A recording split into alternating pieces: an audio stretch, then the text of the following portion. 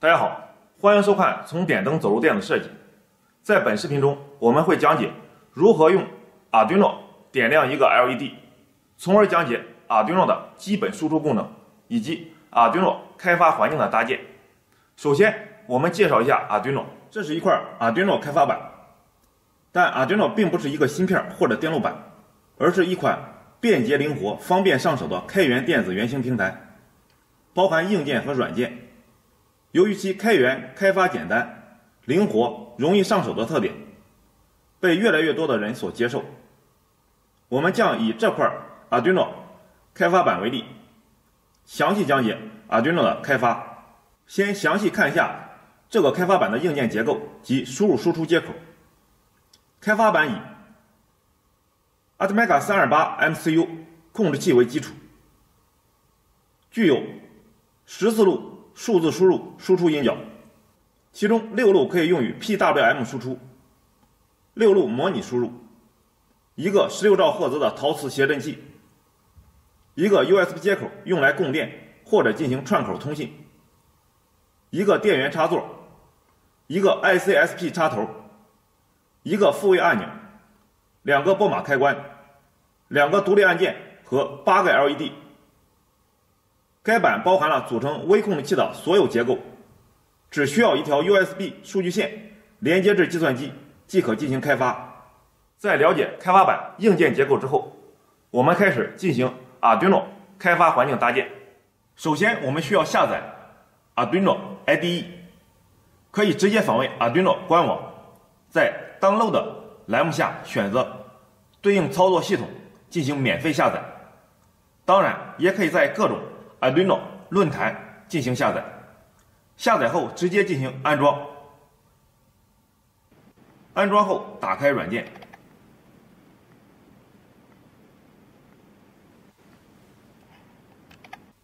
，IDE 软件界面非常简洁，默认的界面里面包含了最基本的原始代码，也就是程序的基本框架，主要是有两个部分：Word Setup 和 Word Loop。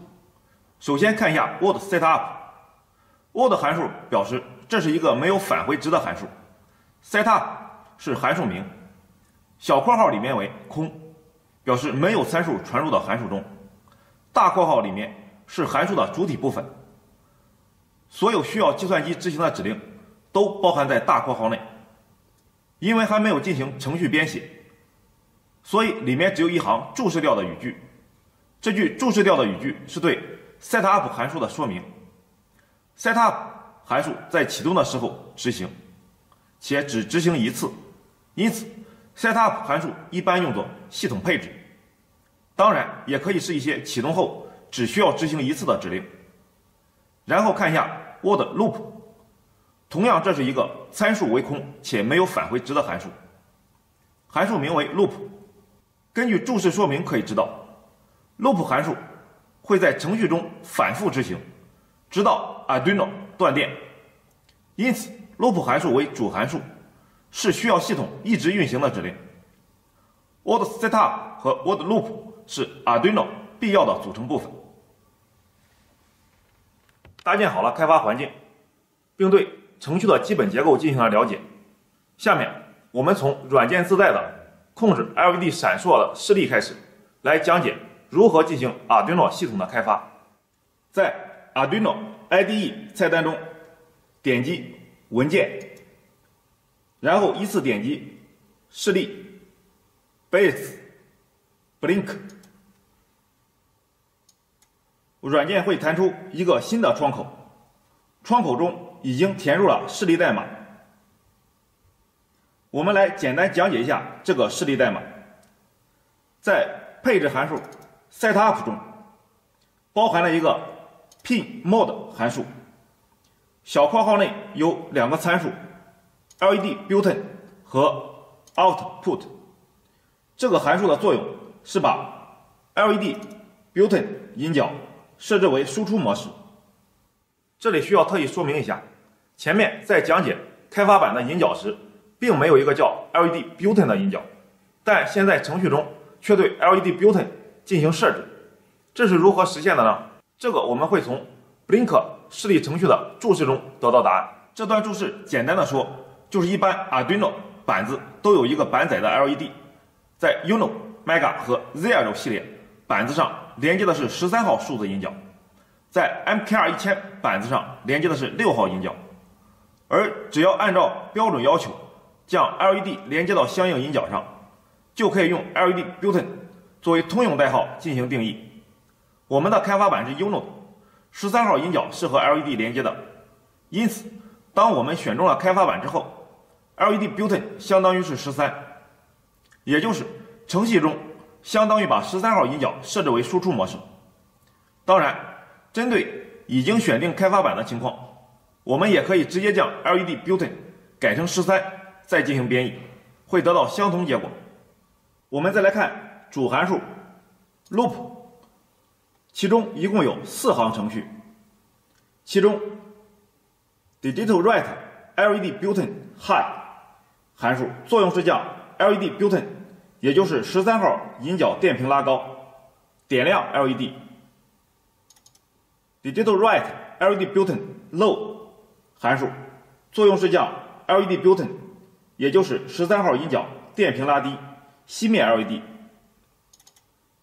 Delay 函数的作用是延时等待，小括号内的数字单位是毫秒。delay 一千，也就是等待一秒。整体来看，主函数实现的功能就是点亮 LED，等待一秒，熄灭 LED，等待一秒，然后程序返回主函数开头，点亮 LED，等待一秒，如此循环，实现 LED 以两秒为周期进行闪烁。下面我们把程序加载到开发板中，验证一下程序运行的结果。将开发板通过 USB 线缆连接至计算机，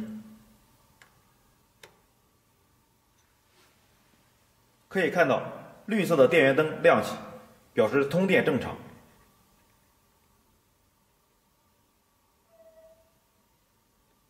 然后打开计算机的设备管理器。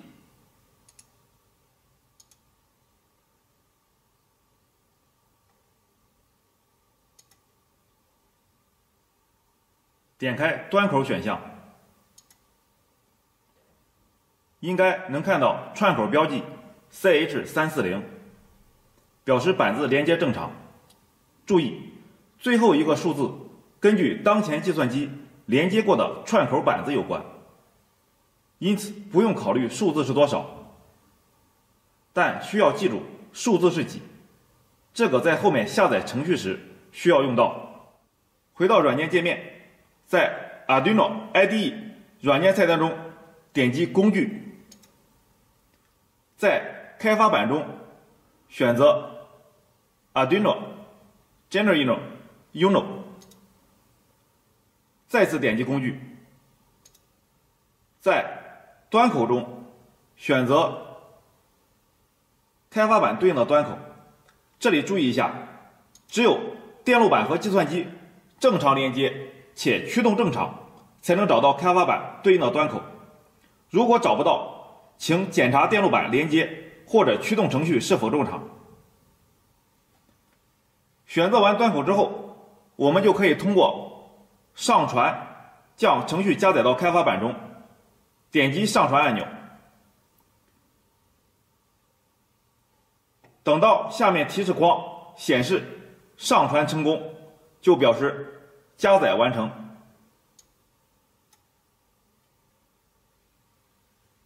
这时我们可以看到，开发板左上角的蓝色 LED 以两秒为周期进行闪烁，验证了我们程序的功能。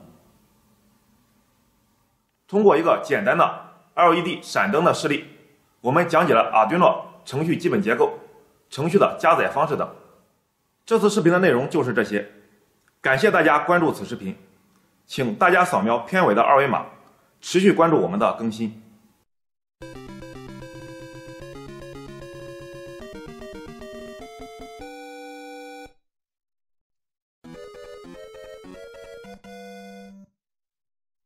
大家好，欢迎观看《从点灯走入电的设计》。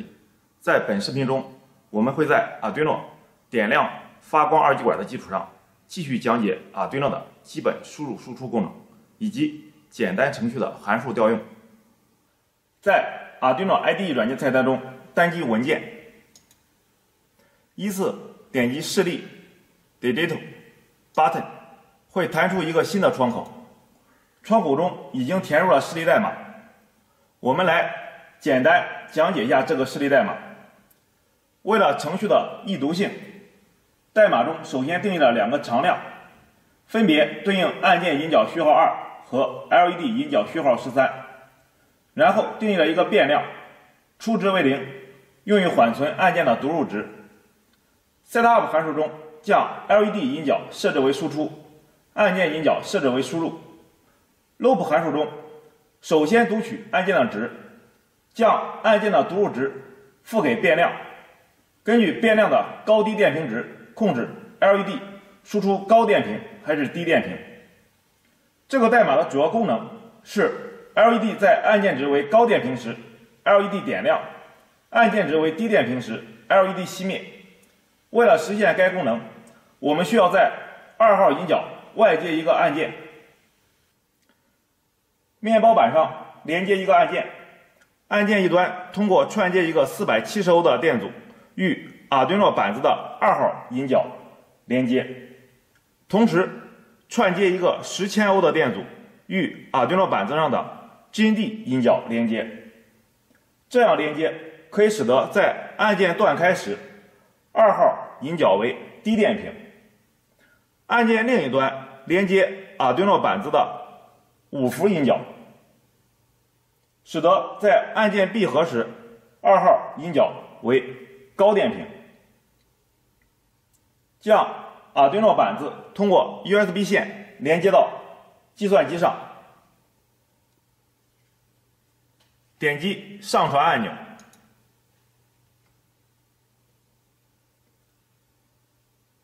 上传成功后，可以看到，在没有按下按键时，十三号引脚连接的 LED 为熄灭状态；按下按键时，LED 点亮，松开按键，LED 熄灭。按下按键，LED 点亮，验证了程序的功能。我们进一步扩展程序功能，将 Blink 程序功能和 Button 程序功能结合起来，让 LED 在按键闭合时以两秒为周期进行闪烁，在按键断开时保持熄灭状态。以 Button 程序代码为基础进行功能扩展。Blink 程序主要功能是实现 LED 以两秒为周期进行闪烁。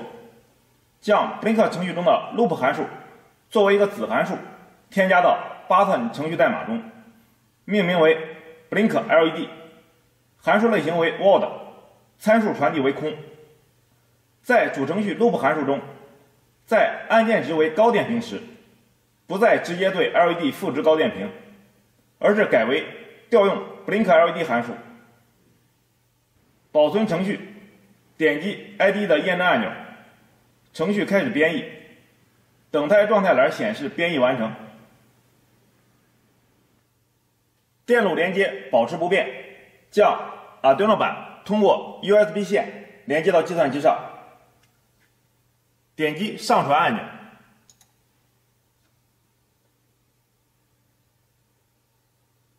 上传成功后，可以看到，在没有按下按键时，LED 为熄灭状态；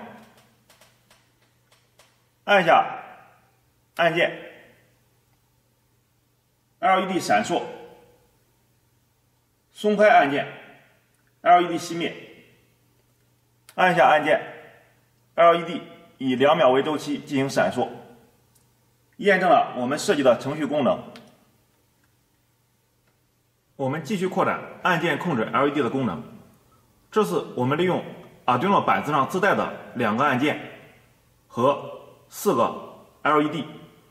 这两个按键和四个 LED 由波码开关控制使能，需要将板子上的波码开关都设置为 On。K0 和 K1 都为断开低电平时，所有 LED 熄灭。K0 为闭合高电平，K1 为断开低电平时。LED 零以两秒为周期进行闪烁，其余 LED 熄灭。K 零为断开低电平 K1 为闭合高电平时，LED 一以一秒为周期进行闪烁，其余 LED 熄灭。K0 和 K1 都为闭合高电平时，四个 LED 以两秒为周期进行流水灯形式闪烁。打开 Arduino LDE 界面，代码中首先定义了常量数组 K pin，对应按键引脚序号为七和六，并定义了按键数组的长度为 K length，定义了常量数组 LED pin，对应 LED 引脚序号为二、三、四和五，并定义 LED 数组的长度为 LED length，然后定义了变量数组 K state。初值为零，用来缓存两个按键的值。setup 函数中将按键引脚设置为输入，LED 引脚设置为输出。loop 函数中首先读取两个按键的值，将按键的读入值赋给变量数组 k state，根据 k state 高低电平组合值控制 LED 输出相应的状态。这里先对两个子函数进行讲解。Link light 函数是 Word 类型，没有返回值。小括号里面有两个传递参数，第一个为 LED 的序号，第二个为 LED 闪烁的周期，单位是毫秒。实现的功能是将相应序号的 LED 以第二个参数为周期进行闪烁。Water Light 函数是 Word 类型。没有返回值，小括号内有两个传递参数。第一个参数为流水灯的长度，即 LED 的个数；第二个参数为每个 LED 点亮持续的时间，单位为毫秒。函数功能为实现相应数量的 LED 以点亮时间为第二个参数的时长进行流水闪亮。K 零和 K 一。都为断开低电平时，给所有 LED 引脚输出低电平，LED 全部熄灭。K 零为高电平，K 一为低电平，调用 link light 函数，LED 序号参数为零，周期参数为两千，让 LED 零以两千毫秒，也即两秒为周期进行闪烁。K 零为低电平，K 一为高电平时，调用。Link light 函数，LED 序号参数为一，周期参数为一千，让 LED 一以一秒为周期进行闪烁。K 零和 K 一都为高电平时，调用 Water Light 函数，LED 个数的参数为四，点亮时间参数为四百，实现四个 LED 的流水灯，每个 LED 点亮时间为四百毫秒。由于采用的是 Arduino 板自带的按键和 LED，因此不需要外接电路。将 Arduino 板通过 USB 线连接到计算机上，点击上传按钮。上传成功后，可以看到，在没有按下按键时，LED 为熄灭状态。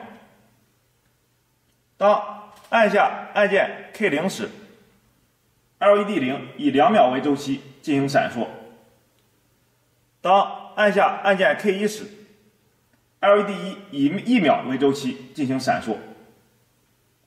当两个按键同时按键时，L 四个 LED 以流水的形式进行闪烁，验证了我们设计的程序功能。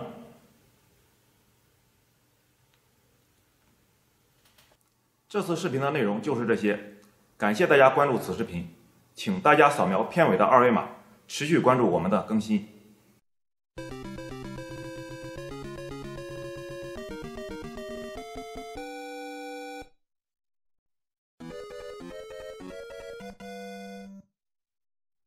大家好，欢迎观看从点灯走入电子设计。在本次视频中，我们会通过测量电压值以及呼吸灯等实例来讲解 Arduino。模拟 I/O 的读写控制，Arduino Uno 提供六路十比特的模拟输入，将模拟的电压量转换为十比特的数字电压量，也即将零至五伏的电压输入信号映射到数值零到一千零二十三，Arduino 读取模拟输入的最大频率约为十 K 赫兹。模拟输入主要包含两个函数：analog reference 和 analog read。其中，analog reference 的功能是配置模拟输入的参考电压。语法形式包含一个参数，参数为参考电压类型。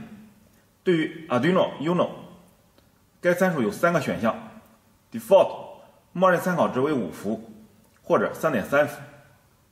；internal 内置参考值在 Atmega 三二八板子上为一点一伏。；external 在 AREF 引脚提供外置的电压作为参考值。Analog Read 的功能是从模拟输入引脚读取数值。语法形式包含一个参数。该参数指的是被读取的模拟信号引脚。Arduino Uno 的模拟引脚为 A 零到 A 五，返回值是零到一千零二十三之间的数值，代表相应引脚当前的输入模拟电压值。这里注意一点，在模拟输入引脚悬空没有任何连接的情况下，用 Analog Read 读取该引脚值，获得的返回值为不固定的数值。这个数值可能受到多种因素影响。如果将手靠近该引脚，也可能使返回值产生变化。我们以历程进行演示。首先，通过导线将 Arduino 的 A 零引脚与3.3伏引脚连接在一起。程序中定一个变量，用来缓存 A 零引脚的模拟输入信号。打开串口，以方便显示读取的模拟输入的数值。我们采用默认参考电压值，可以采用该语句提供默认电压值。也可以在 setup 函数中省去该配置。loop 函数中用 analog read 读取 A 零引脚的模拟电压值，复制给变量，然后通过串口输出。把程序加载到 Arduino 板子上，打开串口监视器，可以看到显示数字为六百七十一。A 零连接的是三点三伏，理论显示值约为六百七十六。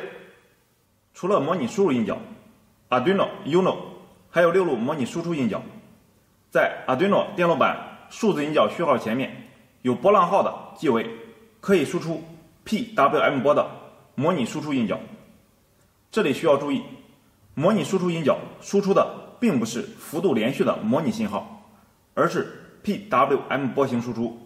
简单介绍一下，PWM 波即脉冲宽度调制波形，是利用微处理器的数字输出来对模拟电路进行控制的一种非常有效的技术，广泛应用在从测量、通信到功率控制与变换的许多领域中。基本原理为通过改变脉冲序列的周期实现调频，改变脉冲的宽度或占空比实现调压。采用适当控制方法，可以使电压与频率协调变化。模拟写函数为 analog write，功能是将模拟值输出到管角，可用于调节发光二极管亮度，或以不同的速度驱动电机。调用该函数后，该引脚将产生一个指定占空比的稳定方波，直到下一次调用该函数，或在同一引脚调用数字读或数字写。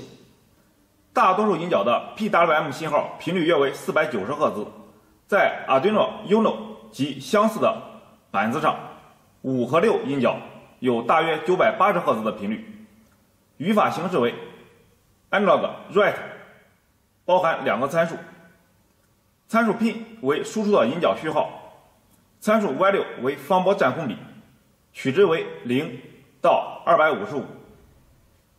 我们通过一个呼吸灯的示例来讲解一下模拟输出功能。所谓呼吸灯，就是让灯有一个由亮到暗再到亮的缓慢变化过程，而不是直接的亮灭，如同呼吸一般均匀变化。引脚序号前面有波浪号的有六个引脚，我们选择十一引脚来进行 LED 的控制，将十一引脚与 LED 正极连接，LED 的负极接到电路板的金 D 引脚。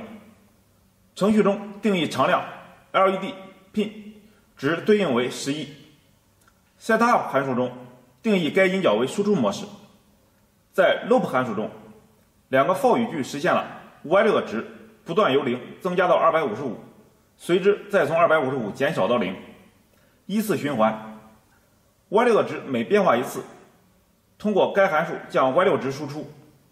根据前面的讲解可以知道，高电平持续时间越长，LED 就越亮。在 y6 取值为255时，占空比为百分之百，LED 最亮。在 y6 取值为零时，占空比为零，LED 亮度最低，也就是灭的状态。将程序加载到 Arduino 板子上，可以看到 LED 由亮到暗，再由暗到亮，缓慢变化，依次循环。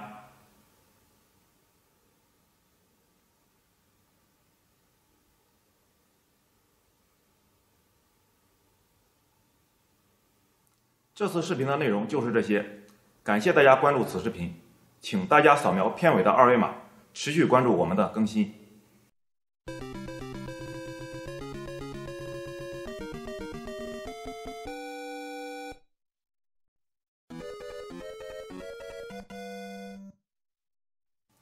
大家好，欢迎观看从点灯走入电的设计，在本次视频中来讲解 Arduino 部分高级 I/O 控制。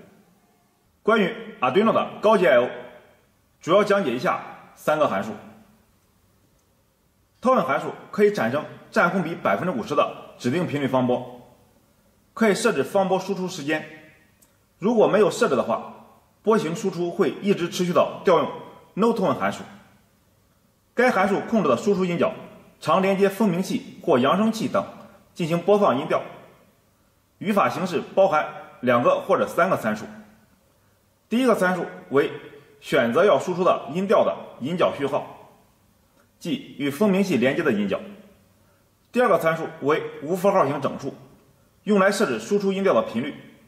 第三个参数为无符号长整形数，设置输出音调的持续时间，单位为微秒，无返回值。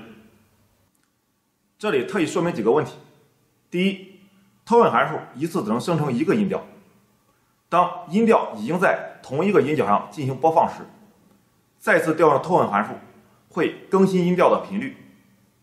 如果音调已经在另一个音角上进行播放，则此时调用 tone 函数无效，除非先调用 no tone 函数，关闭另一个音角的音调播放，然后再次调用 tone 函数。第二，tone 函数不能产生低于三十一赫兹的音调。第三，对于 Arduino Uno 版，tone 函数的调用会影响音角三和音角十一的 PWM 波输出。No tone 的功能为停止有 tone 触发输出的方波信号。如果没有调用过 tone 函数，则该函数无效。语法形式包含一个参数，参数为要停止输出音调的引脚序号，没有返回值。Pulse in 功能为读取音角上的脉冲信号的宽度。例如，如果值为高，则 Pulse in 等待音角变为高电平，开始计时，然后等待音角变为低电平时停止计时，并返回脉冲持续时长，时间单位为微秒。如果在超时时间内没有读到脉冲信号的话，将返回零。语法形式包含两个或者三个参数。第一个参数表示要读取脉冲宽度的引脚序号，第二个参数表示读取宽度的脉冲的形式，高电平脉冲或者低电平脉冲。第三个参数表示超时时间，Arduino 在超时时间内没有读到脉冲信号，则该函数返回值为零。超时时间参数是可选参数，默认值为一秒，返回值为无符号长整形数。表示脉冲持续时长，单位为微秒。如前所述，如果在超时时间 t 内没有读到脉冲信号，则返回值为零。这里特意说明一下，根据经验发现，pulse in 函数在检测脉冲间隔过短的信号时会产生错误。Arduino 可以检测的脉冲间隔时间范围是十微秒到三分钟。假如调用 POSIN 函数时，读取脉冲信号的引脚已经为高电平，则 Arduino 等该引脚变为低电平以后再开始检测脉冲信号。另外，只有 Arduino 中断是开启时，才能使用 POSIN 函数。这次视频的内容就是这些，感谢大家关注此视频，请大家扫描片尾的二维码，持续关注我们的更新。